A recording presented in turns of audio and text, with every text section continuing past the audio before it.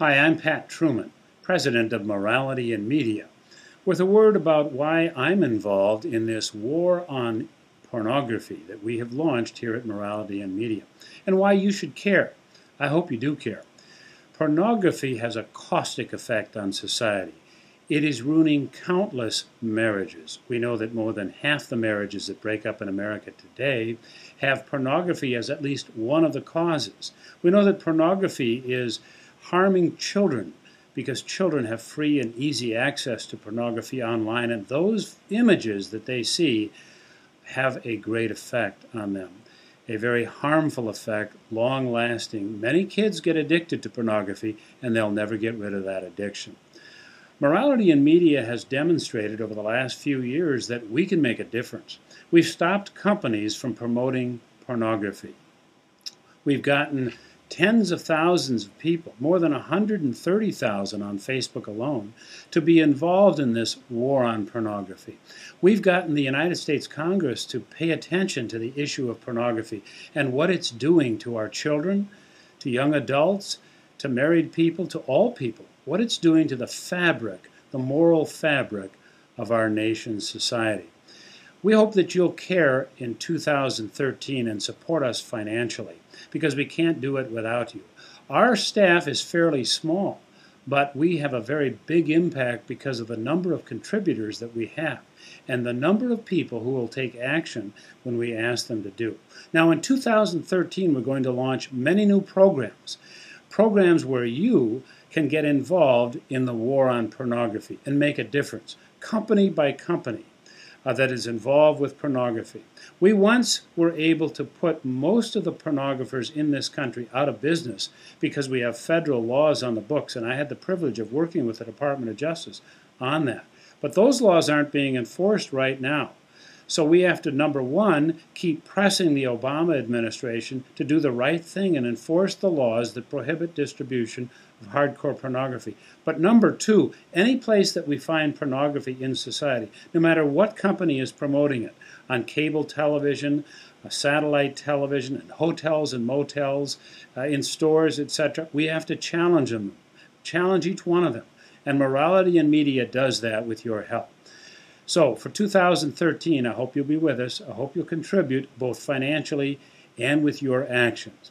Thank you very much. Again, I'm Pat Truman, President of Morality in Media. Hi, I'm Dawn Hawkins from Morality in Media. I just wanted to take a couple of minutes to talk specifically about how pornography is harming our children. Uh, this is a very broad topic, and we could probably talk about it for hours. There's a lot of research now about this, but uh, in just a few minutes, here are some of the really significant ways pornography is, is touching our kids. Um, so, kids by age 11 in the United States are getting a regular diet of hardcore pornography. They're, they've already been exposed by age 11. Um, I can remember I was nine years old, and that was a while ago when I first saw pornography, and it was in a family member's home, of all places. Um, I recently heard from a mother who called. She was very distraught, didn't know what to do.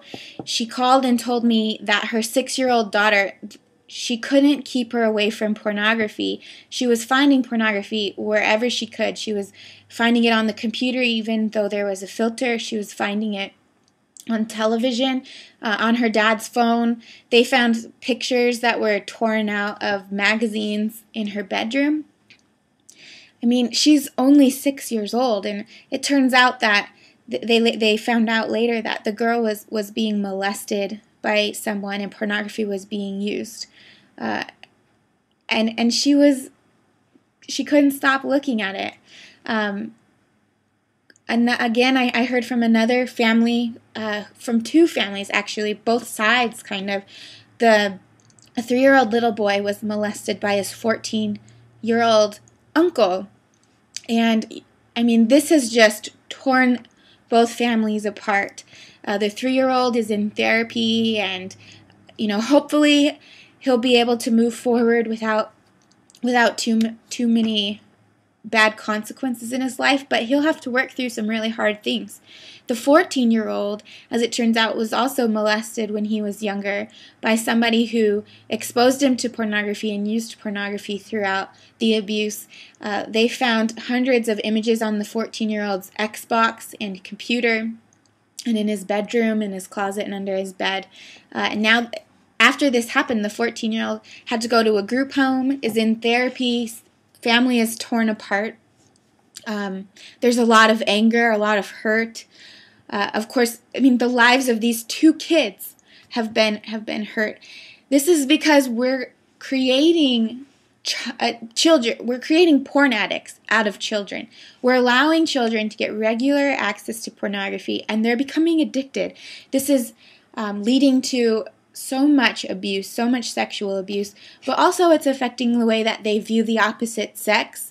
Uh, they objectify one another more. They're engaging in sexual acts at much earlier ages. And because of what they're viewing in pornography, they think that violent and, and specifically degrading types of sex acts are normal. They think that it's not okay to say no, and that if someone does say no, it really means yes, because that's how it is in porn. Um, they think that it's supposed to be violent. I just read a, a, study, I think it was from Boston College that came out with it, but I can't remember the specific percentage. But the point was that increasingly young girls, teenage girls, are participating in group sex gangbangs, and that's because that's popular in pornography. Um, but then I also wanted to highlight the links between adult pornography and child pornography. We have these brochures that uh, we're distributing. I invite you to, you can order some from us. We'll send you a bunch, uh, or you can download the electronic file from our website. You could just contact us at pornharms.com and we'll make sure you get it. But this specifically talks about the links between adult pornography and child pornography. It was an article we wrote for Princeton's Witherspoon Institute, and we just turned it into a brochure with their permission. Um, it seems like people, everybody, no matter who you ask, they care about child pornography and they think something should be done. But right now, cases of child pornography are overwhelming our courts. Why is that? I mean, why is there are there so many more cases today than there were 20 years ago? That is because for 20 years now, people have been getting uh, unfiltered, anonymous access to hardcore pornography through the internet. Um, people are finding that they're no longer satisfied with the same kinds of images, so they deviate to harder materials.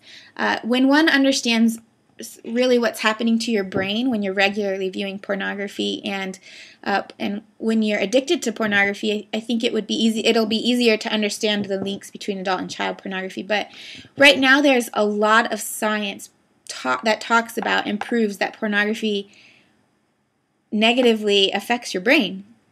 Um, Norman Doidge is, is somebody that has written, Dr. Norman Doidge, he's written a number of books and research articles, and I find him to be a little bit easier for me to understand since I'm not a science person. But he, he explains that when you're viewing pornography, dopamine is released, which gets you really, really excited. The problem is that endorphins are never released when you're looking at porn, which endorphins help you feel satisfied. They help you realize that okay, you're done. You don't need you don't need anymore. When when someone is about to have sex with their husband or wife, for example, dopamine is released. It gets them in the mood. It gets them excited. Uh, and then once they have sex, endorphins are released to help them feel satisfied. And this is why you don't keep having sex for hours on end.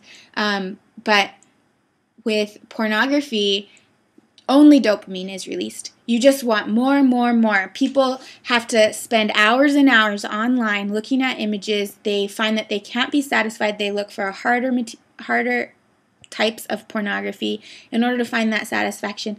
And some people will deviate to por- child pornography. I am not saying that everybody who looks at adult pornography or struggles with adult pornography is going to become a child porn addict, but many are. Um, and so it's important to, to realize that we will never solve the problem of child pornography unless we do something about adult pornography. Um, another another problem with pornography too is that kids are seeing this they're being exposed to it so when predators approach them or even other children approach them wanting to take advantage of them these kids think it's okay because they this is what they've seen happens in pornography. Um, and so predators use that to their advantage. They use pornography to groom the kids into thinking that this type of behavior is okay and they should allow it. And then kids aren't seeking help. Uh, you know, this is another tactic that pimps and johns use when trafficking women and children too. They use pornography to groom them. Uh, it's also just one other thing is a lot of perps are using um, their victims while they're victimizing them. They're filming and photographing it, and then they're sharing that. Uh, online, and those images are just being shared all over the place. So these kids aren't only being object or being abused, you know, this one time. It's over and over and over again. Unfortunately, this breaks my heart. I, I couldn't believe it, and I I am still very emotional about it. But um, not that long ago, we shared an article, an expose about child pornography on Facebook, written by World Net Daily (WND), and um, in this expose, the journalist found images of children. And I just want to say there is so much pornography on Facebook, and a lot of it is child pornography. Uh, on our Facebook page of more than 100,000 people, every day there's pornography, people post pornography and child pornography that we have to continually uh, remove and make sure it's and report it. So this is a big problem on Facebook. And the journalist did an expose on this, and she used some of the images she found and blurred them out. But she put them in her article to show people. And we sent the article to people on our email list just to let them know that this was happening on Facebook. And a mother wrote me back uh, and told me that one of those images was of her daughter. Um, I mean, it, it happened to her daughter six years ago when she was 12 years old, and it's still happening to her again and again because those images you just can't get back. Um, so I, I have to close. I've already gone over my time limit, but I just want to highlight that pornography is hurting our kids and we need to do something about it. I encourage you to learn more about this topic. Go to our website, pornharms.com, and you'll see links for research. Um, we have almost 1,000 research articles, news and opinion articles divided by category. One of those categories is how it affects children, and others how it affects teenagers. Um, I encourage you to read some of those articles and educate yourself so that you can help other others understand why they need to care about this. Thank you. Hi, I'm Dawn from Porn Harms and Morality in Media. I just wanted to alert you all to the fact that Groupon, for the second time, has sent thousands of emails to individuals advertising for a tour where people can likely view the live taping of sadomasochistic uh, torture and rape pornography. Um, they've cleverly disguised the uh, coupon as being a historic tour and compared it even to the Smithsonian Institute, but they are enticing people further to buy it saying, uh, depending on your timing, you'll be able to glimpse a live filming. I just wanted to explain to you all what that live filming is of and what exactly Groupon is advertising for. So I went to the website Kink that Groupon is running the ad for, and I just wrote down some of the things that they they say that they specialize in and offer. Uh, bound gangbangs. They say that they use sexy young teens who are overwhelmed and outnumbered and uh, then they, they talk about how they have device bondage, which is women bound and gagged. They're whipped, objectified, and humiliated. Those are the same words that we use all the time for the many ways that pornography harms because it objectifies women, is humiliating, and that's exactly what they're using to advertise uh, for their their pornography. It says that the women are immobilized, caged, and humiliated as objects. They're bound with chains, metal bondage, metal restraints, collars, leather bondage, head harnesses. I can't even read the majority of the things that are on the websites. It's so it's so disgusting. I don't want to I don't want you to hear that from me, but uh, I really want you to understand what Groupon is advertising for. They have hogtied, which is women who are suspended and restrained in rope bondage. This is when the girl has been tormented beyond all reason. They grant her release, but only after exploiting and humiliating her further. Um, there's public disgrace, which is hardcore uh, bound women.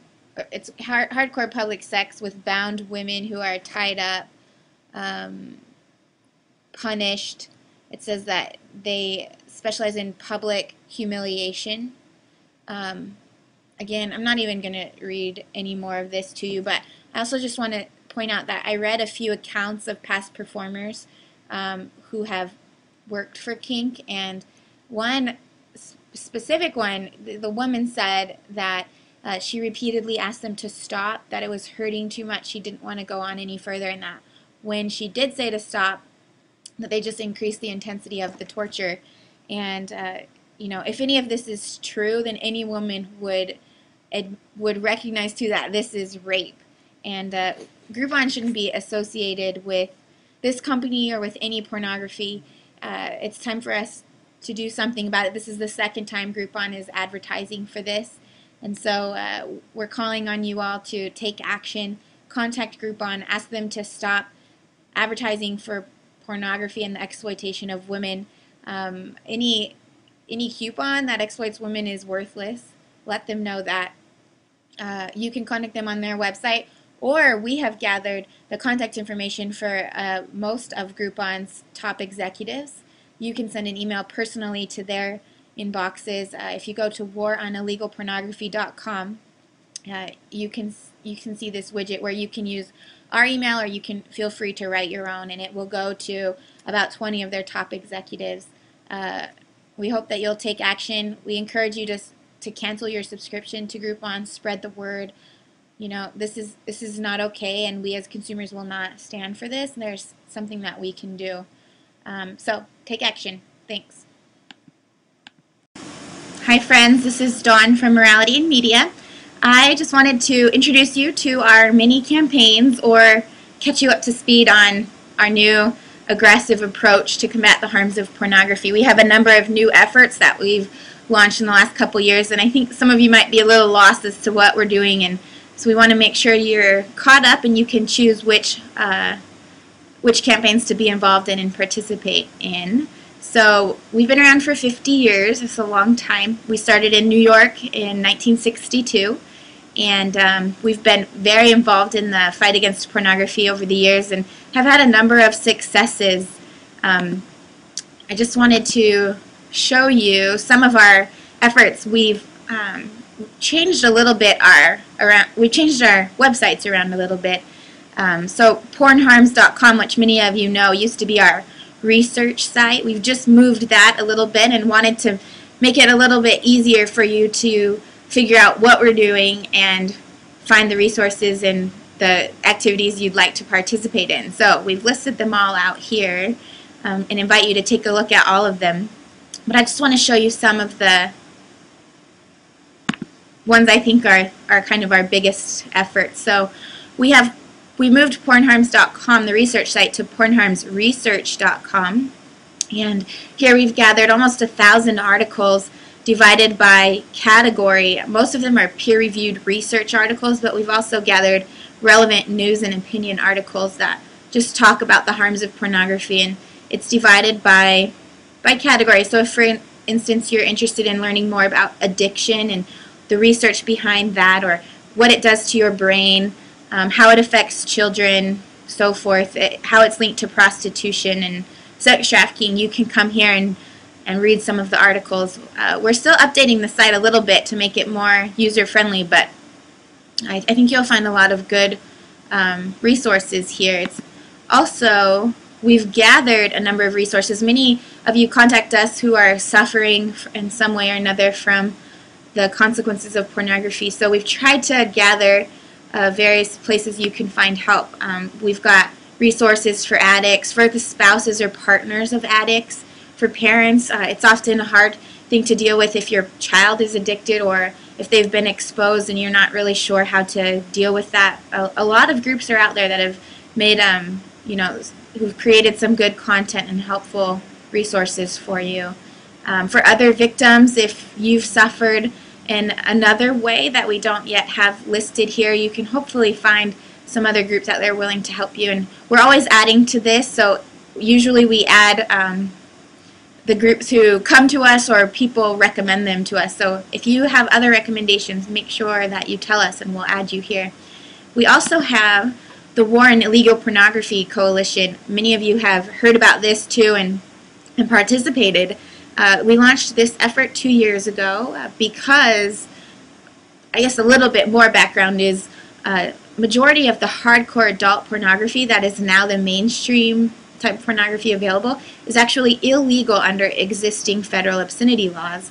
However, under the current administration, those laws are not being enforced. Not one single case has been brought against pornographers who are breaking the law. And so basically, we're giving them a free pass to do whatever they want and continue to exploit, you know, hundreds of victims. So we are calling on the Justice Department to begin enforcing those laws, and we've gone about it in a few different ways. We've built a huge coalition. Right now, we're about 126 national, state, and local groups, and we're all working together to um, make sure that these laws get enforced. We're working closely with members of Congress. Almost half of the Senate is on our side and, and uh, helping to pressure the Justice Department to do their job. Um, we've contacted all the presidential candidates. Romney, Santorum, and Gingrich have all stated that they're in support of enforcing these laws and that if they were elected that they would um, 25,000 emails were sent by hundreds of you, thousands of you, um, since September to the presidential candidates, including to President Obama. That's why we've heard back from them. So thank you. You can learn more about this effort here at waronillegalpornography.com. We have a number of updates always going on. Um, there's a lot of different action items. There's always someone to contact, someone to call. So check it out. Also, if you're interested in learning more about the laws, um, you can read some more about that here on this website as well. Another effort that we have underway, it's really just getting off the ground, but it's called Safe Schools, Safe Libraries Project.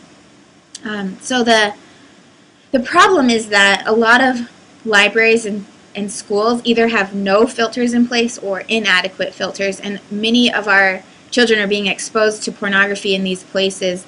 And adults as well, people who don't want to see this are being forced to see it because someone is, you know, sitting there in public viewing it. And so uh, this has created a, a number of dangers in these what were once safe places.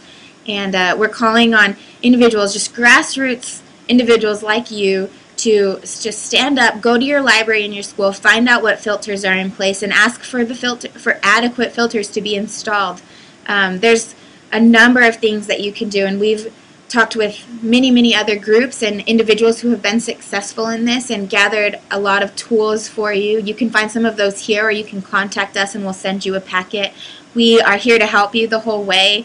We've seen in numerous places that it often just takes one person to go ask for these filters to be installed and they will be and it saves so many. You know just a couple days ago I went to my local library in Alexandria Virginia and I was asking the librarian about the problem of pornography and she told me they do have filters and the filters are good and actually the state laws in Virginia are, are pretty solid but she said it's still a huge problem. So especially if you know, she said once a week, sometimes more often, they have to kick people out of the library for looking at pornography or even masturbating there in public. So this is a bigger problem, and if they don't have filters in place, it's going to be an even bigger one. So we're asking you to do something about that. You can go to safelibraryproject.com or safeschools, You can contact us, and we'll send you a lot of more information where we have gathered a lot of resources and other experts who can help you in your area. So that's one. And the other one I wanted to talk to you about is our Be Aware Porn Harms National Awareness Campaign. We started this last year for the first time because so many people were coming to us asking for help and resources. Others were saying, where's the proof that pornography harms? And we have, um, have networked a lot with other groups who have the help needed that people are looking for. And so we decided to just try to help you all find each other and um, and also help raise awareness and educate the public about the many harms of pornography. So we've launched efforts about three times a year. We'll hold this campaign, a two-week campaign, where we'll have experts from all different types of areas. We'll have, um, you know, addiction experts, doctors, therapists, uh, internet safety experts, uh, some religious leaders, feminist leaders. Just get on their computer and hold live conferences with you all so that you understand where they're coming from and where the what the research is saying, uh, what the harms are, what you can do. We've given away hundreds of free subscriptions to filters and addiction recovery software. We've provided a lot of support for uh, partners and spouses of addicts. Um, so this is a big, a big uh, new effort that we're doing, and it's really changing. We're trying to harness the power of the internet and help just bring all these resources to you. Um, so our next campaign is April 15th to the 29th, and we're scrambling here trying to finalize all the events, but soon be, they'll be at this website, pornharms.com slash be aware.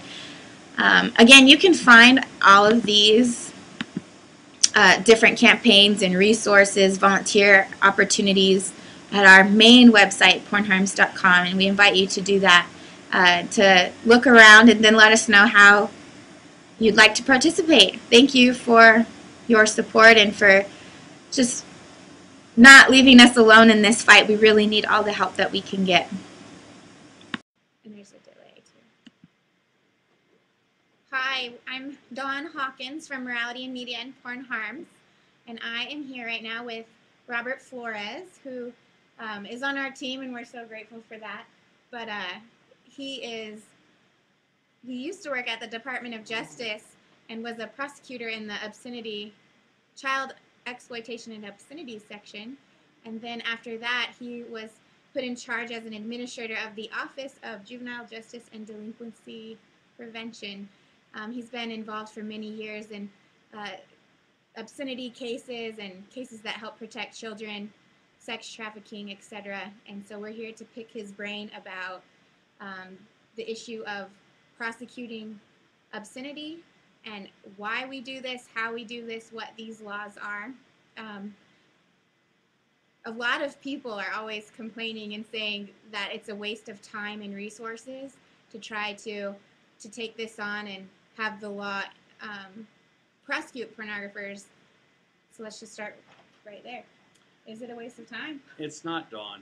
Uh, and it's a pleasure to be here with you and talking with our audience. Uh, let me start by just making a distinction between obscene material and pornography.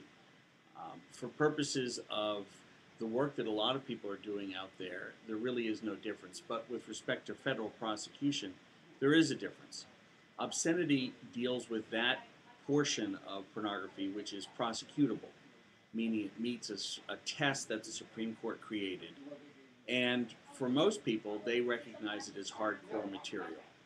So that's one of the um, that's one of the things that I want the audience to really be aware of is that uh, it's really very important for them to think about what it is they're talking about, and sometimes we find that the pornographers really take advantage of that and suggest that people have no idea what we're really talking about, but we are. Um, the courts have uh, very clearly defined it. Um, we have had many prosecutions. When I was actively prosecuting cases uh, in the late 80s and early 90s, uh, we won uh, convictions in more than 120 cases. Um, and we had more than $21 million worth of fines and forfeitures. Many of those cases. Wait, how much? More than $21 million in, in less than an 18 month period in terms of fines and forfeitures.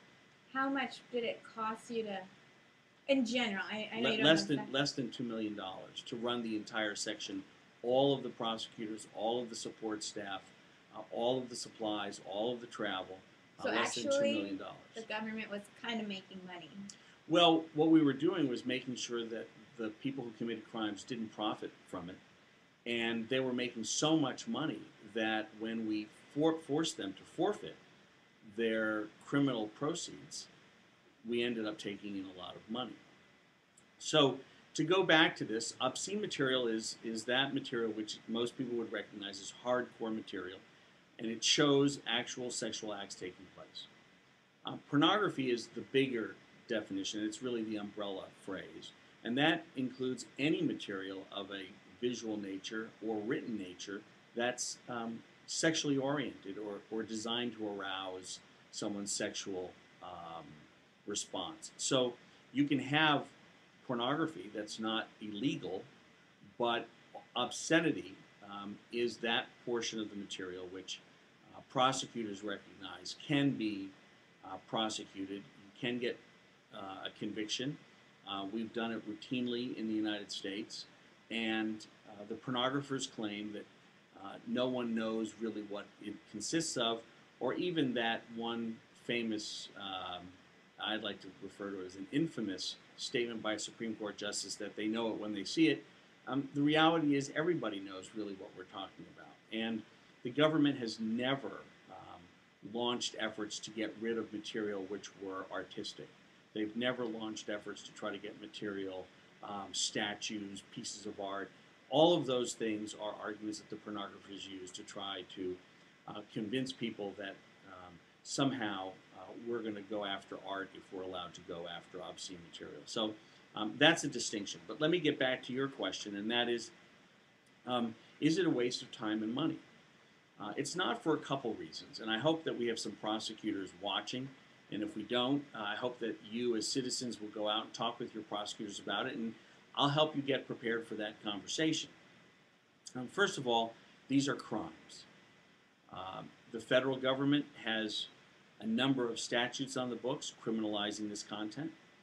Uh, most states in the United States have statutes criminalizing the content.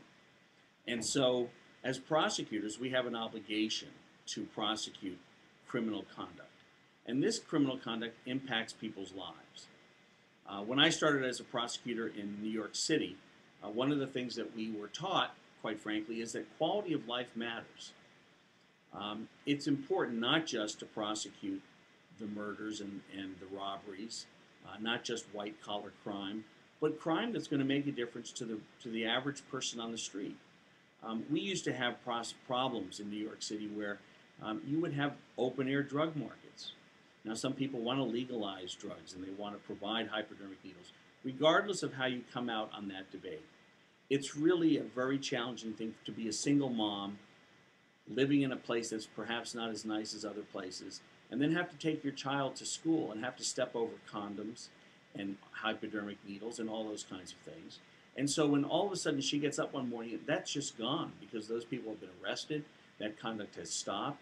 This makes a difference in her life. And I think that's one of the things that prosecutors have to remember. It's really very important to take a moment and think about how can you bring the law to bear in your community in a way that's going to make a difference for the regular person? And I'll talk a little bit more. I'm sure you'll ask me some questions about, you know, the harms of pornography and some other reasons. But the other reason that uh, it's not a waste of money is that these crimes are not tied to um, things that um, are minor. So, for instance, when we were prosecuting uh, federal obscenity cases, um, we ended up employing the racketeering statute because sometimes organized crime was involved in this activity. Mm.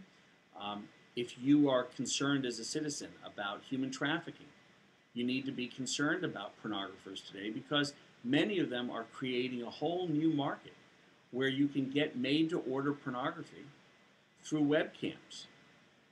Um, maybe you've been somebody who's received spam advertising one of those services. You have prostitution and escort services that are tied to this, and they provide pornography as a teaser, many times material which is obscene, which is hardcore. You also have a situation where uh, many women and children are exploited by this material. And uh, they may wear a smile on their face while they're being tortured or they're being humiliated um, or even worse is happening to them. But this is not what we aspire to in our communities, and it's a violation of, I think, any community's standards, and that's one of the tests. Um, is this something that is acceptable to a community? not is it tolerated. Unfortunately, today we are forced to tolerate a lot of different because our prosecutors are not uh, perhaps inclined to pursue these kinds of cases, or they have other kinds of uh, restrictions that they're working under. But by and large, this is about what do we want to accept? What do we want our community to be like? And so this is important for that reason. The third thing is you can't effectively address a number of other crimes which are very, very important to people. Um, if you're a dad and you have daughters, one of the things that you're concerned about is teen dating violence. We've heard a lot about that. It's in the news all the time, unfortunately. What's one of the things that causes that? Well, I don't have any doubt that it's some of the educational material that's out there. I mean, we believe that's why we send our children to school, that's why we give them books, that's why we read to them all the time. Um, for those who are uh, committed to their faith, that's the reason why you teach them the Bible or whatever um, uh, holy books that your uh, religion has. And so we expect people to take what they see and what they read and what they uh, spend a lot of time consuming and then act on it. So we have young men who believe that girls like to be hit and hurt when they have sex. They believe that every girl wants to have sex all the time. Today we live in a culture where the pornography is also teaching girls that that's all boys want to do. So we have a sexting epidemic. We have young kids as young as you know seven, eight, nine years old now, uh, being found to have uh, engaged in sexual activity in their classrooms when the teachers are out doing something else.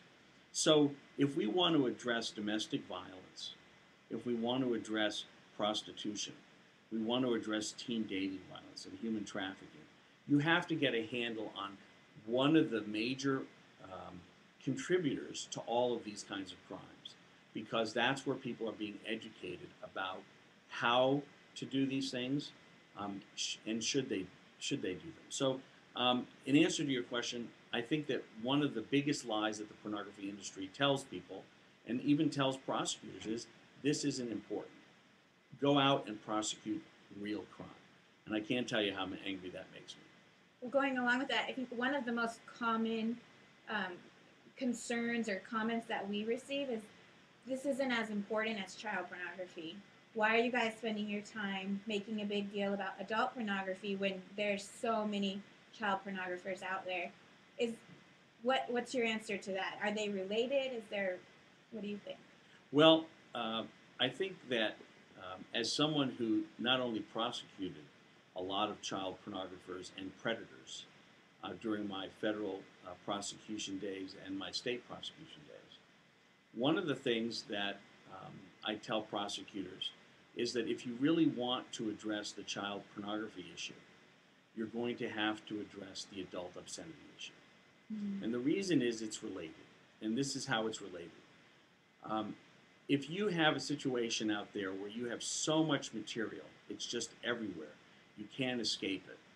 Um, what ends up happening is that you end up with a real difficulty in terms of really trying to find the needle in the haystack. Now, thankfully, child pornography, as large a problem as it has become, is still dwarfed by the number of obscenity violations that exist. And so, if you want to begin to address this, one of the things that you have to do is just clean up the environment. Mm-hmm. If you don't clean up the environment, what happens is that there's more and more of the adult obscene material and along with that will come all the other kinds of material that follow closely. Some of that will be uh, material which involves adults made to look like children or sold as if it involved young people. Then you might have um, other uh, sites which actually offer you material that depict children. Now, they're not blatant, but they clearly are sexual. Um, there are pictures that are inappropriately posed or taken uh, secretly um, that show children in their in their underwear, show, show children um, getting dressed. Um, so you have all of those kinds of materials. If you don't address the base of that triangle, um, if you don't go after adult obscenity, you're not going to send the message to anybody that you're going to go after the more serious things. Now, you might think, well, you know, okay, that makes sense, but how do we actually know that's going to work? Well, in the 19, uh, late 1980s, early 1990s was probably the Justice Department's most aggressive period of prosecution of adult uh, obscenity. And uh, as I told you, we uh, had over 120 convictions, um, millions and millions of dollars seized from uh, illegal profits. And one of the things that happened was that the industry started policing itself because they had a very good idea what, what their community standards were. They live in those communities. Um, my guess is that many pornographers don't let their children look at the pornography that they make. Um, that they are sending them to as good a school as they can because this is really about money. Um, and so you have a situation where all of a sudden um, material featuring very violent themes disappeared off shelves. There were a number of states where pornographers refused to send any material because they knew that it would probably violate any community standard in any part of the state. Mm. So, um, as soon as you start to clean up the adult obscenity market, um, you start to see impact along the lines because the message has been sent very clearly. The, the government is not going to tolerate this anymore. Communities aren't going to tolerate it. And if they're going to prosecute people and send them to jail and take their profits if they are involved with adult obscenity, you surely are going to get the same result with child pornography. Is this just a law enforcement issue? No, it's not. Um, law enforcement can really help, but it's not. Well, one of the things that we know is that uh, human trafficking victims um, are often very, very sick. Uh, they don't receive medical care. Um, they are transported into our country uh, under conditions that are just horrible. From time to time, we find uh, these terrible, tragic uh, reports of um, a dozen, two dozen, maybe 30 or 40 illegal immigrants um, who are dead because someone has been afraid of law enforcement and they've abandoned an 18 wheeler in which they have stuffed these people. Mm. So you have very uh, terrible conditions. Then you also have, for, for human trafficking victims that are the object of sexual uh, crimes, you have sexually transmitted diseases. You have a susceptibility to tuberculosis. You've got um, other kinds of communicable diseases. And you've got a, a population then is, as often as they are having sex, they're being forced to have sexual activity with all these people. Um, you have the ability to spread these diseases to a very wide population. And so the husband who comes home from visiting a prostitute um, may bring with him a whole rash of sexually transmitted diseases um, to a wife who's who's naive, does not rec- does not recognize what what's going on, doesn't realize what's just happened, and then all of a sudden she's effect- infected. Um, so you're talking about healthcare costs. Um, these crimes don't happen uh, in an isolated fashion. Um, we have um, uh, proof now, unfortunately, that we're seeing marriages broken up. Um, so because this is now everywhere on the internet, in Mhm. essence, every home that has an internet connection has access to the world's largest pornography store. If you're not careful about that, if you don't protect your home and yourselves, then what ends up happening is that you, you have marriages break up. You know, uh, social scientists tell us very clearly one of the quickest ways into poverty is through divorce. Um, you have children growing up without parents. You have um, young women who are growing up expecting certain kinds of treatment uh, from young men and vice versa. So you have this affecting um, marriages, you have this affecting health, um, and then you also have a situation where now we, under, we know, uh, we've seen a number of reports where human trafficking victims are forced to have abortions. So you have, again, a situation where um, you have not only the destruction of the life of the woman uh, or the man or the family, but these innocent babies now are being killed uh, in order to facilitate more and more exploitation of these women. So, you know, it's, it's really a horrible kind of situation that's been allowed to grow up. And we have so much material out there that's educating young people um, that I think any prosecutor who's looking to protect his community is should be looking at um, what they're going to do with respect to uh, obscenity violations. Mm-hmm. Um, I think I ask you this kind of question often because I'm always trying to pick your knowledge, your brain. But um, so you were you prosecuted many cases of obscenity while at the U.S. Department of Justice, and also while there, you oversaw um, the Internet Crimes Against Children, all the task forces dealing with that. Right. So you've learned a lot. What did you learn? Will you tell me? Sure. Uh, well, let's take the Internet Crimes Against Children task forces. Um, one of the things that we know is that we have so many people who are dabbling now in child pornography that they're creating a tremendous demand for more and more material. And you know, one of the things that I thought was was uh, odd, but I've come to understand that it's not odd anymore, um, is the the sense that these child pornographers and pedophiles and child molesters, they are desperately looking for validation. Mm-hmm. So they like to share their materials. They're looking to see if there's somebody else out there, whether it's on the internet, uh, whether it's in a community, who will validate them, will say, "Yeah, I like those pictures. Take a look at mine." Because for that, for the pedophile, for the molester, what that does is it validates that they're maybe not so odd, they're not so strange, that what they're doing really isn't wrong. I mean, I've been in the room. I've I have uh, audio tapes from surveillance of um, child molesters and pedophiles talking about how much they care for children, how much they love them, that their activity isn't about hurting them. And so they've now been so become so confused about what they're doing and they have such a strong desire to believe that what they're doing is not wrong that they've developed a real need to try and share this information well now you have a lot of people who are accessing that information they've become bored with adult obscenity and so child pornography is something else that, that might be out there um, for many of them they don't have uh, strong relationships with people who are their peers, so they don't really relate well to adults. And so they feel that they can relate to a young girl or a young boy because they're so much older. And for them, that's much less threatening. And so you have a situation, quite frankly, where um, you have a tremendous need for um, validation. So they're out there pushing their material, they're putting it up there, they're selling it, they're giving it away, they're sharing it with, with people, they're going to different places, they're creating small networks, and you hear about this all the time. Um, there were a number of major uh, investigations and prosecutions of child pornography rings. These were men who were sharing their material back and forth. And you know, why do they do that? Why do they risk being detected and getting arrested and going to jail?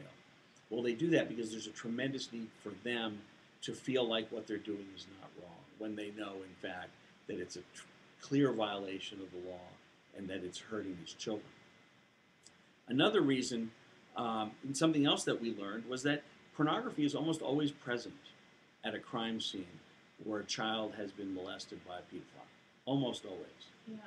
And the reason for that is it's great material to use to groom that child and to get them ready for that abuse and to lower their inhibitions. So it's used by people who are engaging in incest. It's used by strangers who end up in a relationship online and they send that child pornography and they ask them, you know, have you ever taken a picture like this? Would you be willing to take a picture like this? If I send you one of my pictures. And, you know, you've got children who are very curious naturally. They're very curious about how their body works, especially as they go through um, adolescence. And so all of a sudden now you have this medium. Just like we're sitting here today, we're talking to a whole audience of people. So you could have a child here who's been convinced to take off their clothes, engage in activity. Why? They might get presents mailed to them.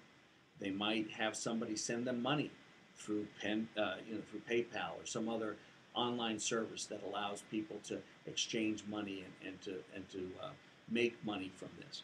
Um, so you have a situation where we know that adult pornography, not just obscene material, but even softcore material, is used to groom children.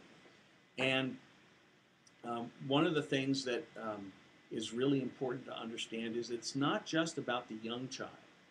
In some cases, the young child has a little bit of protection in that they may be shocked enough by a picture to go tell their mother or their father. But for teenagers, I mean, teenagers think that they know everything. Um, teenagers are desperate to appear a little bit older. Um, you know, anyone who knows a 13 or 14 year old teenage girl has heard the jokes. Well, she's 13 or 14 going on 20. And so, you know, the makeup and the behavior. And so all of a sudden, you know, they have an opportunity to engage or to be thought maybe a little bit more cool or engage in activity that they've seen on the internet. And so it really lowers their inhibition um, to engage in sexual activity, to uh, exchange sexual material with people.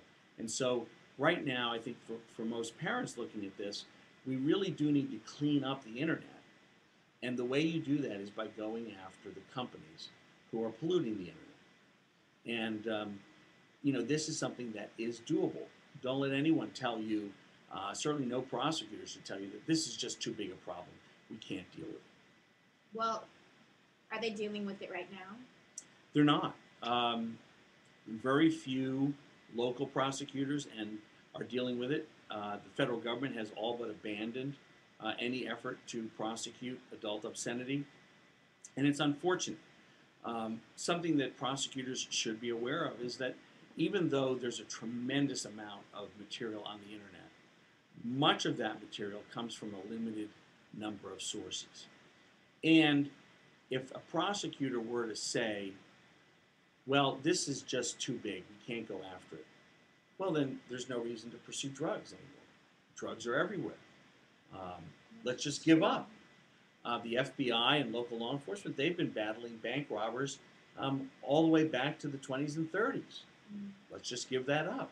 Bank robberies keep happening. Let's just treat it as something that the insurance companies will deal with. Most bank robberies um, don't involve a gun, and the person who escapes from a bank robbery um, ends up getting only a few hundred dollars. Um, but why do we do that? Well, we say, well, because our, our financial system is too important for us just to turn it over to the bad guys. And if we were to tell them all of a sudden, hey, we're just not going to do this anymore, do you think the criminals would simply stop with just small bank robberies? No. They would go to bigger and bigger and bigger things because they want more and more money. Well, it's the same thing with the pornography industry. By telling them basically, as this administration has done, we're just not going to pursue this, it's open season. They can do and go anywhere they want. They can continue to push the envelope with very little fear. And um, the truth be told, many of the largest pornography producing companies are under tremendous financial pressure because there's so much of this material that's out there that's been copied from their sites and posted other places, material that individuals are posting of themselves and their uh, people that they know. And so selling this material now has become a real challenge. So it's selling illegal material. It's selling illegal material has become a real challenge. So these companies, um, the one thing that they don't want to have as additional pressure is someone holding them accountable. And if they're violating the law, proceeding against that. You know, we're not talking about taking advantage of them. We're not talking about vindictive prosecutions or trying to, to do anything other than simply saying, we've taken a look at the material. We're confident that it violates the community standards. We don't see any serious value in the material. And it clearly was pandered uh, and sold as material for specifically a sexual purpose. And I think prosecutors ought to look at that. I think most communities are, are not dead. Uh, this is not what they want. And now we have a tool that we've never had before, uh, which is science. Mm-hmm. You know, when I started doing these prosecutions um, in the late 80s, um, we made these, uh, we did these prosecutions and we defended them on the basis that this was the law, that this material was harmful, um, and we took a, a, public morality, a public health position on them. Today, we not only have those arguments, which I think are more than sufficient to make the but today we actually have neuroscience telling us this material is extremely harmful. It's different from every other form of speech. because of how it impacts the human body and the human brain. And for children who are not even um, sexually developed but are seeing these images, when they go through puberty, when they go through their, their sexual development, and they're getting a steady stream of this material educating them about what they think is normal activity but is in fact deviant material. We shouldn't be surprised, quite frankly, if we're starting to grow entire generations of young people who are going to be engaging in all manner of deviant and very harmful sexual activity, which you know uh, will contribute to cervical cancer rates continuing to go up for young women. Will um, one of the things that most people are not aware of is that um, penile cancers are skyrocketing among young people. Um, these are diseases and situations which we could never have encountered, uh, we, which never encountered before. We couldn't even conceive of this kind of a situation. But because the internet has become really, instead of you know the World Wide Web, WWW, it's it's accurately called now. I think you know the Wild Wild West or the Wild Wild Web. Um, you now have a situation where there just really is a sense that there are no rules, and the rules that apply in the real world apply to the internet. And the Supreme Court of the United States, the final arbiter as to whether or not these kinds of cases can be brought, has said repeatedly the same rules that apply in the real world apply on the internet. Um, and um, I would love to see prosecutors pick up uh, the mantle and continue to do this because it makes a difference to men and women and children and families in middle America who are not going to encounter uh, a lot of white collar crime, or they're not going to be impacted necessarily by drug crime, or they're not going to be impacted by um, some type of international Mhm. treaty violation, all of which prosecutors love to, to do and are engaged in. This is a quality of life crime. This is something that will make a difference for people and will um, remind people that this is wrong. Um, my son, um, when we were talking about this now years ago, said to me, Well, if it's illegal, why is there so much of this stuff available on the internet? And it's terrible that a child will ask a parent that question because what it means is that the parent's generation has failed to do its job. And you know that's what we elect prosecutors to do. That's what we expect the president will demand from his chief prosecutor, the attorney general. And unfortunately, we haven't seen that. Yeah. Um, unfortunately, we are almost out of time, so I just want to say to any of you who are watching, if you log into chat, you can type in questions and we'll try to answer them. Um, but I, I have a question. Um, since the federal government is not enforcing the law, since the U.S. Department of Justice now disbanded the task force and said essentially they don't care about this issue, can the states handle these cases, or is this really a federal government thing? No, I, I think that the states could do uh, a lot.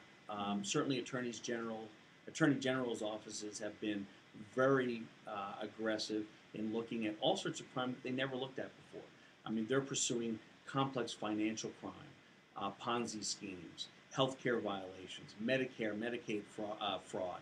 I mean, so uh, attorneys general's offices can certainly play a role, but the local prosecutor can play a role too because um, there's a tremendous amount of information that's available uh, to help prosecutors. And there are experienced prosecutors who have done these cases in the past who are more than uh, willing to come in as a consultant to work with a local prosecutor on these kinds of cases. And state law is, is very clear as well. With the exception of, of uh, two states, um, every other state has a good obscenity statute on the books. And um, the task forces, the Internet Crimes Against Children task forces, um, they also have access to a lot of good information and support. So it may be that one of the things that a prosecutor wants to do is uh, when he finds a child pornography case that they're going to prosecute, and many of them do, if that uh, if they come across adult obscenity, they should include those charges as well, not against just the abuser who is using the material, but against the company that produced it. Because now you have this argument, which is ladies and gentlemen, let me show you how this material is used in real life. And then ask yourself, does this have some other serious use, some other serious value? It doesn't. And in fact, the pedophile knows that. Mm-hmm. The child molester knows that. Mm-hmm. They know exactly what this material does and can be used for. And so uh, I would certainly encourage state and local prosecutors to think about how they can include obscenity charges against the makers and distributors of this material, not just an additional charge against the molester, because that will be a lesser charge against the molester than the actual sexual abuse of that child, which is typically a, um, a first degree rape or sodomy. Okay. Um, Chelsea, we'll get to your question in a second, but uh, since we were just talking about this, we'll answer Vana's right now. She asks, uh, can only a federal prosecutor reach a nationwide internet porn distributor? And how does a state regulate internet porn?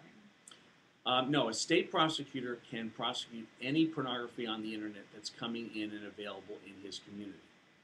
Um, the pornographers don't like that, and they continue to make noise about why that shouldn't happen, and they've continued to try to defend on that. But the Supreme Court has been very, very clear that community standards are what um, is used to judge. And today, you know, it's kind of laughable. Um, everyone's talking about uh, the internet and how much control we have and the advanced technology that we have and, and how uh, granular, how, how specific we can get with our internet uh, so that we know exactly who we're talking to. We have companies who are going to make billions of dollars making sure that they know who we are and when we enter a store and when we move away. So today, the whole idea of you have no idea who you're dealing with and where your material is going is laughable. I mean, if you take a look at um, major programming, sports programming, um, NFL football is available in London. Mm-hmm. Uh, that's not available to us on the internet in certain states because of blackout rules. So um, the technology is now very, very advanced, and they can block out a lot of content. They can make it very, very difficult for you to get it. Um, they can deal only with an adult. Um, so, you know, we, we have now evolved to a place where um, a state prosecutor can prosecute a company from California or from France or from any other country in the world who is committing a crime in their community. Um, we do it in financial fraud cases. We do it in um, many other situations. So this is no different than that. Um, and again, it's part of what the pornography industry has continued to push that it's unfair, um, as if somehow the loss of their material is going to impact um, our, our world in a negative way. Um, okay, Chelsea asks, and I think I want to answer first. It's sure. She asks, what can we do to put pressure on the federal government to prosecute these cases? Um, so there's a lot that you can do.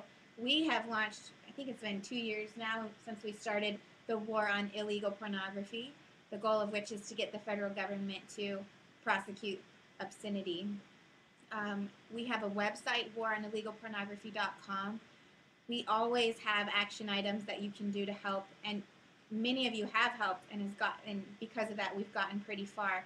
Um, right now, we're really working with Congress, uh, trying to gather support there so that we have their aid in pressuring the U.S. Department of Justice to basically do its job and enforce the laws. Um, thousands of you just recently signed a letter that we sent to Congress to key um, to key congressmen asking for a hearing on the issue of pornography. If we could get a hearing, an official hearing in Congress to talk about the issues and the harms of pornography and what can be done, that would put a lot of pressure on the Justice Department to enforce the laws. So there's always things like that you can do. You can talk to your local representatives. Really, the best thing is go to waronillegalpornography.com and sign up for the email so that way we can keep you updated about what types of things you can do on a daily basis. Um, anything to add to it? Well, I would just say that in every federal district there is a chief federal prosecutor. And uh, I would make an appointment to come in and talk with that person or a member of his staff and um, in share your experience, share your desire that they prosecute these cases. Um, you know, prosecutors have a responsibility, and sometimes what they will say when they're pressed is, "I've never had anyone come into my office asking me to prosecute obscenity cases." I've had plenty of people come in and say, we want you to do something about child sexual abuse. We want you to do something about Medicare fraud. We want you to do something about uh, other federal violations. But no one's come to my office. I, I don't think it's a problem in our district. So one of the things that you can do is just make an appointment. Visit with your local officials. Ask them to help you protect your family and your community from the impact of uh, material which is harmful to people. And uh, write a letter of thanks if they do that. And if they don't do that, then write them a letter and, and ask them to explain why they're not doing that. Um, sometimes all it takes is having a member of the community um, sit down across the table from the chief federal prosecutor and say, look, this is important to me. I'm a businessman in this community. I shop, I work, I go to school. I've got children who are doing this.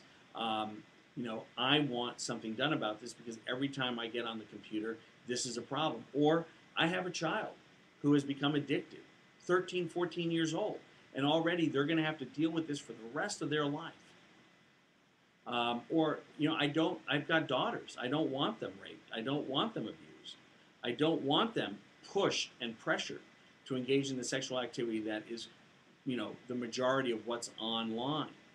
Um, I want somebody to do this, and I want somebody to say very clearly, this is the standard in our community. And unfortunately, given the way our obscenity, um, the law has developed over the years, it's necessary for a jury to conclude that material is obscene before you can get rid of it.